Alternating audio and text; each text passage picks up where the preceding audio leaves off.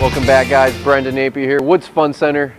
I'm here with Triumph's latest and greatest, it's 2016 Street Twin. Triumph's idea behind everything is keeping it distinguishable, cool, authentic, and premium, and they definitely hit the nail on the head with this motorcycle here.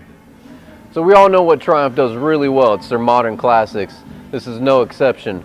They have a true 900 this year, it's ABS, traction control, and even some models you can put heated grips and a bunch of other cool stuff to help add to the value of the motorcycle. From front to back, top to bottom, this bike is completely redesigned. From new frame geometries, rider ergonomics, this thing's definitely going to be a crowd pleaser.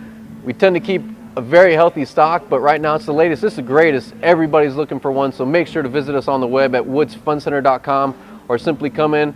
We're at 11405 I-35.